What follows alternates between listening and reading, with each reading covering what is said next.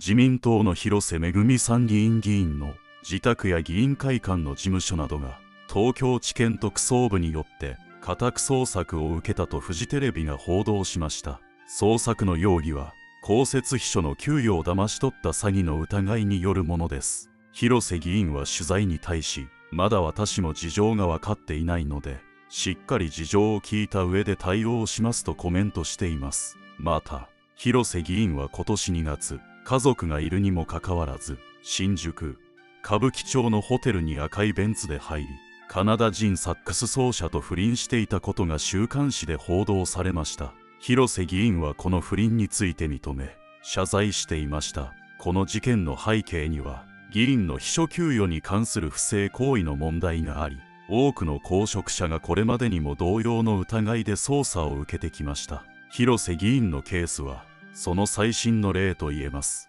今回のニュースの核心部分は公設秘書の給与を騙し取るという詐欺行為の疑いが持たれている点です。公設秘書は議員の業務を支える重要な役割を担っておりその給与は税金から支払われています。したがってこのような不正行為が明るみに出ると国民の信頼を大きく損なう結果となります。このニュースは社会や個人に対しても大きな影響を与えます。政治家の不正行為は政治全体への信頼を揺るがすものであり政治への関心や参加意欲を低下させる原因となります。また公設秘書の給与をめぐる問題は税金の使い道に対する厳しい監視が必要であることを再認識させます。今後の展開として広瀬議員がこの疑いに対してどのような対応をするかが注目されます。議員自身が事情を把握し適切な説明を行うことで信頼回復への第一歩となるでしょ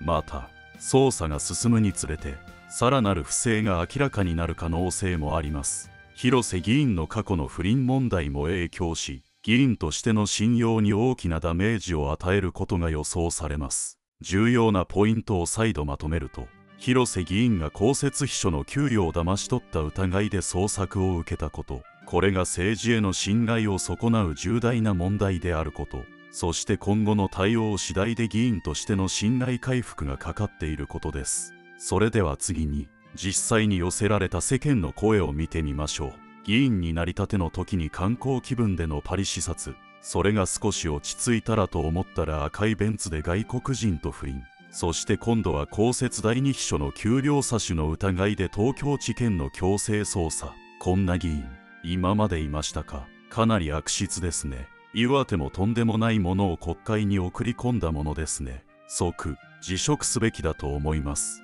また自民党議員の不祥事。確かに個人的なことだと言えるかもしれないが相次ぐ不祥事に対しなぜ自民党は放置しているのでしょうか？本来なら不祥事議員の辞職と罷免。派閥幹部の監督不行き届きで役職辞職くらいの責務は果たすべきだと思います。日本の国会議員たちは一体何をしているのだろうか。仕事はしないで金の亡者になっているのではないか。庶民よりもはるかに恵まれた所得があるというのに議員数の削減議員報酬の削減議員報酬の収支決済は全て公開が義務常々考えるんですがこの件に限らず大げさに言うなら世界平和のためにも子供の頃から政治家の選び方どういう人間を選べばいいのかという教育なり議論の場を設けて政治家を見抜く感性を養えるようになればいいのに要は有権者の選挙時の質屋レベルの問題の解決が急がれると思います。特捜部がやる気を見せて嬉しいです。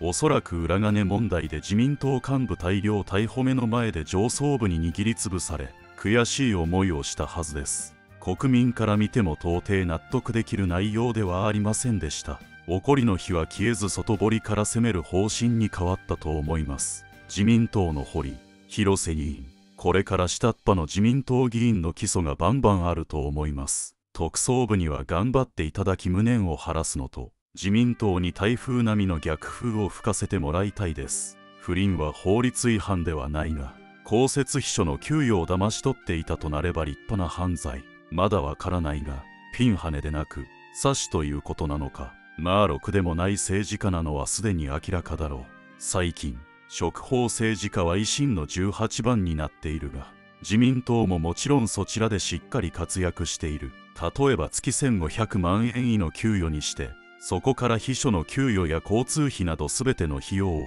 賄うようにしたらダメなのかなと思ったりします。秘書の給与が惜しいなら雇わなければよい。そうするとこんなしょうもない詐欺もなくなるのでは。それから賞与と退職金はなし。よほどの素晴らしい仕事をした人だけ特別臨時ボーナス支給する。そして大切な血税です。詐欺をした場合まず3倍返しを要求したい。広瀬めぐみ議員次から次へと問題が絶えないね。秘書給与詐欺の疑いで家宅捜索されてるし不倫報道もあった。カナダ人サックス奏者との赤ベンツでのホテル密会。そして今回の幽霊秘書疑惑。議員としての信頼は地に落ちてるね。こんな人が政治家として公金を扱うなんて信じられないし国民をバカにしてるとしか思えない。昔地元の市議会議員が似たようなスキャンダルで辞職したけど広瀬議員も潔く辞めるべきだよ。自分の行動の責任を取らないとね。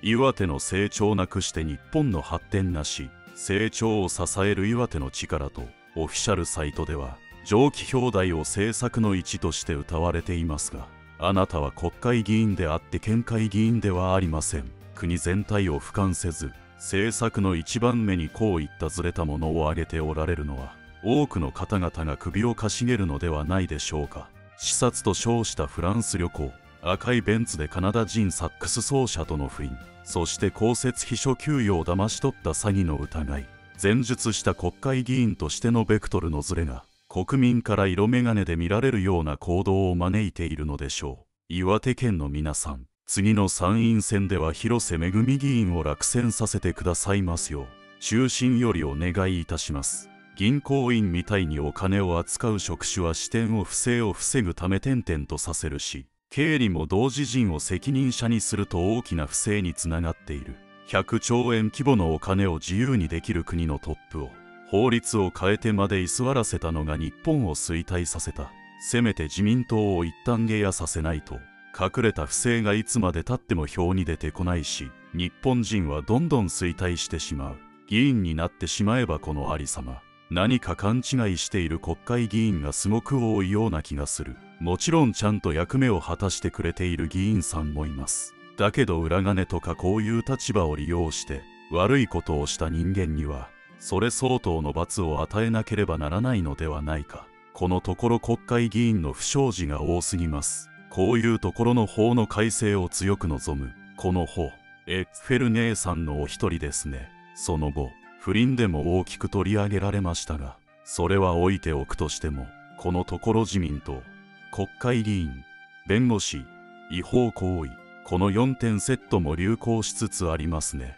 自民党が率先して法律違反をした議員を離党で許さず即刻議員辞職を勧告するような党にならないと国民からの信頼は得られないと思います。自民党の幹部は内心やオフレコでこんな時に何んてことをしてくれたんだくらいはつぶやいてると思います。国民の代表が聞いて呆れてしまいます。全議員が同じだとは思いませんが国民の税金をいただいてる以上一般人より清廉潔白でないと国民は信じられません。広瀬めぐみ議員も類に漏れず手始めは離党から始まるんだろうなと思ってます。議員は家宅捜索など公的疑惑が向けられた時点で議員資格停止及び自宅に窒居給与や経費を含む議員としての権も停止疑惑が晴れれば停止期間の間の保証はする。逮捕されたり書類送検があり罪が分かった時点で罪を犯した日まで遡って議員資格の停止及び給与や経費の返還を義務付ける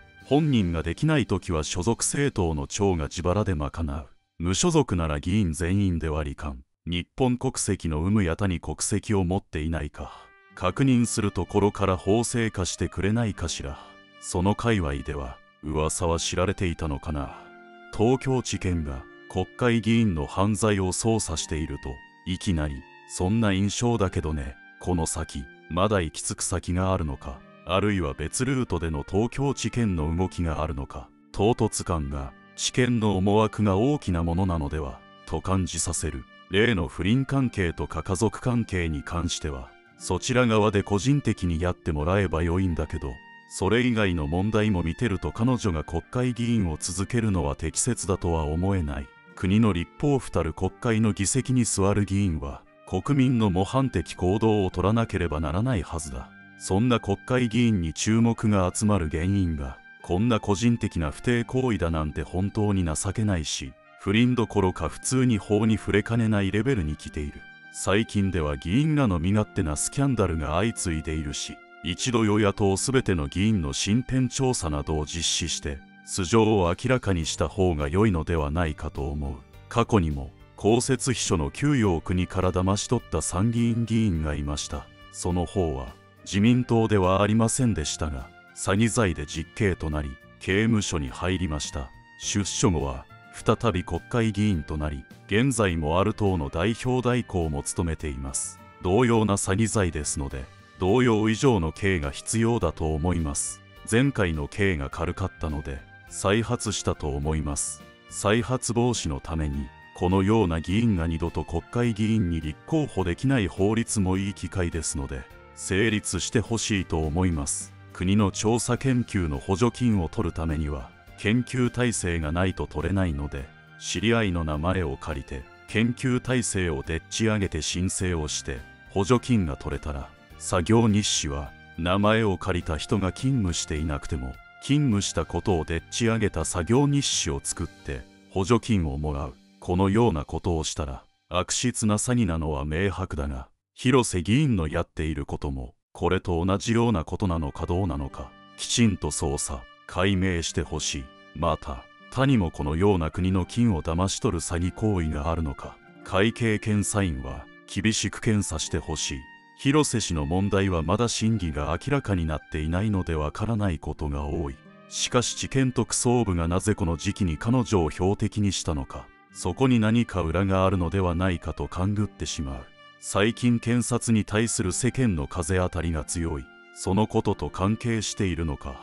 また広瀬議員の取り調べは可視化して後で検証できるようにしておくべきだ。国会議員が不正に手を染めないよう監視し正常化するための仕組みとしての選挙はもう古く役割を果たせない。国会議員になる際議員や秘書後援会長は予託金を出しこうした不正があった際にはその予託金から補填される仕組みを提案したい。不正が何もなければ返却されるようにしていけばいい。今回のコメント分析を通じて浮かび上がる主なテーマは政治家の倫理問題。公職における透明性の欠如。そして有権者の信頼感の揺らぎです。広瀬議員の不祥事に対する批判や失望感が多くのコメントに共通して見られます。まず広瀬議員の一連の行動に対する厳しい批判が目立ちます。コメントの多くは広瀬議員が議員としての職責を理解せず自分の立場を利用して不正行為に及んだと非難しています。特に議員になってしまえばこのありさまというコメントは政治家としての倫理観の欠如を強く糾弾しており政治家全体への不信感を反映しています。また国会議員が不正に手を染めないよう監視し正常化するための仕組みとしての選挙はもう古く役割を果たせないという意見も現在の政治制度の改革を強く求める声の一端を示しています。さらに法の厳正な執行を求める声も多く見受けられます。法律違反をした議員を離党で許さず即刻議員辞職を勧告するような党にならないと。国民からの信頼は得られないというコメントは自民党に対する厳しい批判とともに党内での自浄作用の欠如を指摘しています。また特捜部がやる気を見せて嬉しいというコメントからも法執行機関に対する期待とそれに応えるべき責任が強く感じられます。一方で広瀬議員の個人的な不祥事だけでなく制度全体への不信感も根深いことがわかります。国会議員になる際議員や秘書後援会長は予託金を出し不正があった際にはその予託金から補填される仕組みを提案したいという意見は現在の制度に対する不信感を表しています。このような提案は制度改革への強い期待とともに現在の仕組みがどれだけ脆弱であるかを示しています。また広瀬議員の一連の不祥事は有権者に対する大きな裏切り行為と捉えられておりその影響は政治全体に波及しています。広瀬氏の問題はまだ真偽が明らかになっていないが地検特捜部がなぜこの時期に彼女を標的にしたのかそこに何か裏があるのではないかと勘ぐってしまう。というコメントからもわかるように不信感は一部の政治家に止まらず法執行機関や制度そのものに向けられています。コメントの中には広瀬議員の行動を個人的な問題と捉える一方で政治家全体のモラルの低下を憂慮する声も多く見られます。国会議員たちは一体何をしているのだろうか。仕事はしないで金の亡者になっているのではないかというコメントは政治家全体に対する厳しい目を象徴しています。このような視点から広瀬議員だけでなく政治家全体の行動規範の見直しが必要であることが強調されています。さらに教育の重要性を訴えるコメントも注目に値します。子供の頃から政治家の選び方どういう人間を選べばいいのかという教育なり議論の場を設けて政治家を見抜く感性を養えるようになればいいのにという意見は有権者教育の必要性を強調しています。これにより将来的により質の高い政治家が選ばれる可能性が高まり政治全体の健全化に寄与するでしょう。総じて今回のコメント分析から言えることは広瀬議員の不祥事が単なる個人的な問題に止まらず政治家全体の倫理観や制度の税